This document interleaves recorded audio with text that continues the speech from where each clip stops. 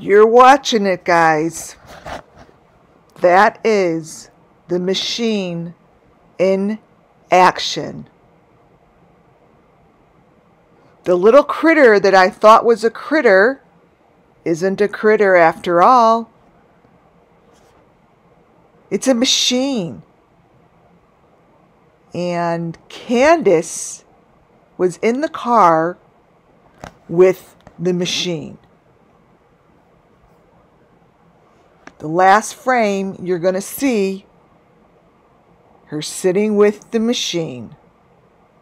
What the bleep, you guys. See you all tomorrow.